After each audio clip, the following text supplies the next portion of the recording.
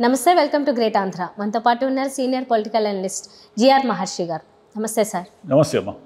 Sir ఈరోజు చిత్తూరు జిల్లా Puthalapattu M L A Babu press meet పెట్టి ఆల్మోస్ట్ జగన్ గారిని నిలదీసినంత పని చేశారు.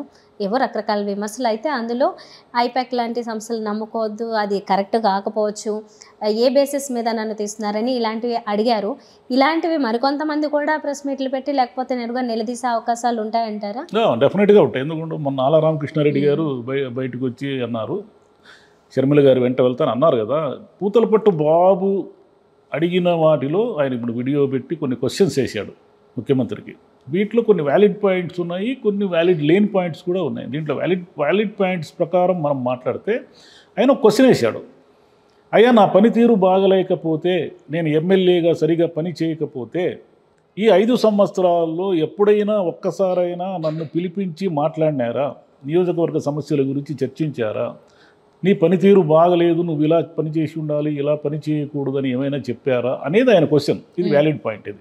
ఎందుకు వ్యాలిడ్ పాయింట్ అంటే ఈ ఐదు సంవత్సరాల్లో జగన్ గారు ఎమ్మెల్యేలను కానీ మంత్రులను కానీ సరిగా పెద్దగా కలిసి పెద్దగా అంటే ఏదో మంత్రివర్గ సమావేశము లేదంటే ఎప్పుడో పార్టీ సమావేశంలో సామూహికంగా అందరిని ఉద్దేశించి మాట్లాడడం కాకుండా విడివిడిగా ఎక్కడైనా సమస్య వచ్చి ఈ నియోజకవర్గంలో పలానా వాళ్ళ పనితీరు బాగలేదు అని ఆయనకి రిపోర్ట్ వచ్చినప్పుడు వాళ్ళని పిలిచి ఆరు నెలలకు సంవత్సరానికి ఒక్కసారైనా మాట్లాడిన దాఖలాలు అయితే మనకు లేవు. ఈయన ముఖ్యమంత్రి పిలిపించి ఇలా కాదు అలా కాదు మీరు మీరు చేయాల్సిన పని ఇది కాదని అడిగి ఉంటే అప్పటికీ వాళ్ళు మారకపోతే అప్పుడు వాళ్ళ మీద నేను మీకు టికెట్లు నేను ఎన్నిసార్లు హెచ్చరించినా మీరు నాకు నా మాట వినలేదు కాబట్టి నేను మీకు టికెట్ ఇవ్వను అని చెప్పుంటే ఓకే. కాబట్టి ఈయన ఎప్పుడు అనలేదు. ఈయన ఎప్పుడు అనకపోవడం అనేది ఈరోజు బాబు వేసిన క్వశ్చన్లో కరెక్ట్ ఇంకోటి ఏమిటంటే పూతలపట్టు బాబు ఇన్యాక్టివ్గా ఉన్నారు ఆయన సరిగా పని చేయడం లేదనే కంప్లైంట్ మొదటి నుంచి ఉంది. ఆయన ఏమంటారంటే ఆయన నన్ను ఎప్పుడు పని చేయనిచ్చినారు? ఏం పని చేయాలి నేను?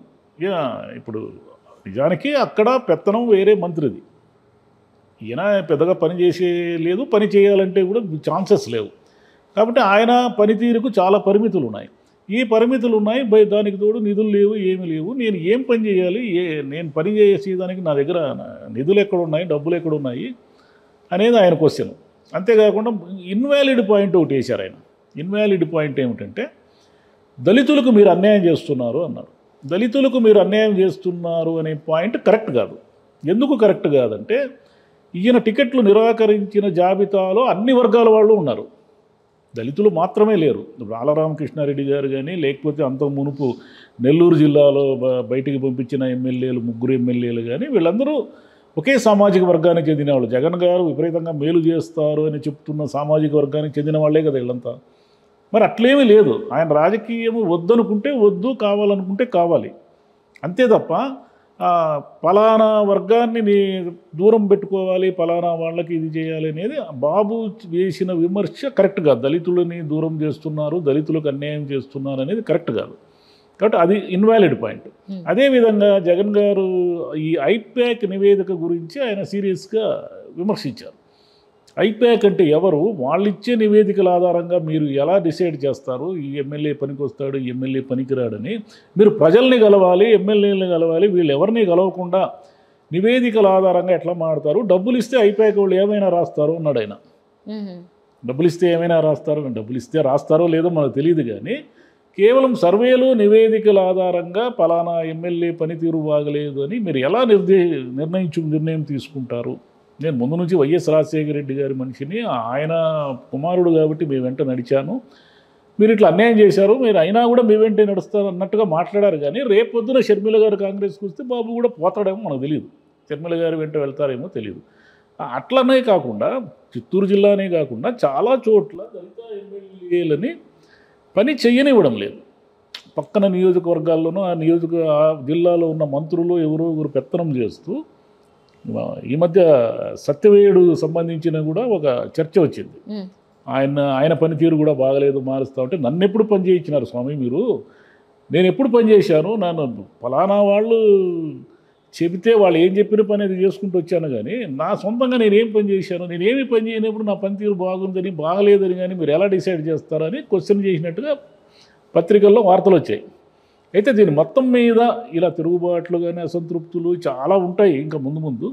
జగన్ గారు అర్థం చేసుకోవాల్సింది ఏమిటంటే ఈ ఐదేళ్ళలో ఆయన ఇంటరాక్ట్ కాకుండా ఎమ్మెల్యేలతో కానీ వీళ్ళెవరితో కూడా ఇంటరాక్ట్ కాకుండా నీ పనితీరు బాగలేదని ఒక ఇది వేయడం అనేది వాళ్ళని డిసైడ్ చేయడం ఒక ఊరికి ఒక రెడ్డింగ్తో ఒక ఇంటూ కొట్టడం అనేది వాళ్ళకు అక్కడ నియోజకవర్గంలో వాళ్ళకి ఎంతో కొంత బలము కార్యకర్తలు సొంత మనుషులు ఒక ఎమ్మెల్యే అంటే ఎంతో కొంత బలం ఉంటుంది కదా.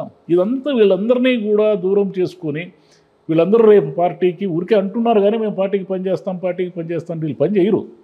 రేపు కొత్త అభ్యర్థి ఒక ఎమ్మెల్యేగా ఉన్న అతనికి టికెట్ ఇవ్వకుండా కొత్త అభ్యర్థికి తెచ్చి టికెట్ ఇస్తే ఇతను ఎందుకు పనిచేస్తాడు చేయడు ఊరికే ఇంట్లో కూర్చుంటాడు ప్రశాంతంగా. ఓట్లు వేసేవాళ్ళు వేస్తారు పోయేవాళ్ళు పోతారు మనకెందుకు ఈ గోల అనుకుంటాడు.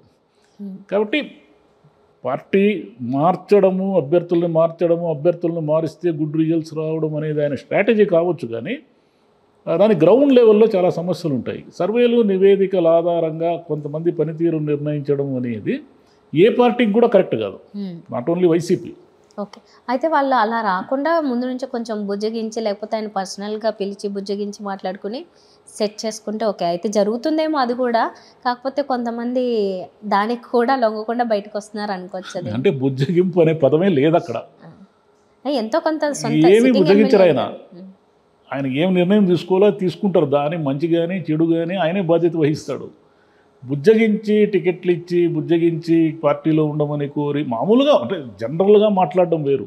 ఇలా ఈ కారణాల వల్ల మీకు టికెట్ ఇవ్వలేకపోతున్నాను మీరు పార్టీ కోసం పనిచేయండి మీకు రేపు మళ్ళీ మనం అధికారంలోకి వచ్చిన తర్వాత మీకు ఫలానా పదవులు ఏదో ఒకటి క్రియేట్ ఇస్తాము మీకు న్యాయం చేస్తాము అని చెప్తారే కానీ అయ్యా బాబు మీరు ఉండండి మీరు మా పార్టీ కోసం పనిచేయండి అని బుజ్జగించే వాళ్ళైతే ఇంతమందికి టికెట్లు ఇవ్వకుండా నిరాకరించడం అనేది ఉండదు. ఇప్పుడు కేసీఆర్ గారు ఇక్కడ ఎందుకు అందరికీ టికెట్లు ఇచ్చారంటే వీళ్ళందరూ తిరగబడి ఇంకా పార్టీని భ్రష్టు పట్టిస్తారేమో అని ఆయన భయపడి అందరికీ టికెట్లు ఇచ్చాడు వాళ్ళందరూ ఓడిపోయారు.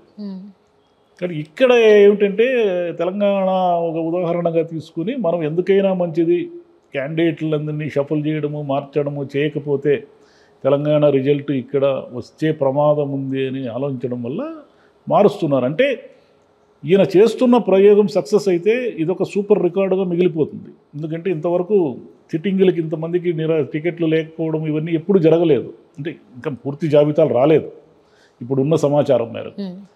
లేదు ఏదైనా కారణాల వల్ల వికటిస్తే అది కూడా చరిత్రలో మిగిలిపోతుంది.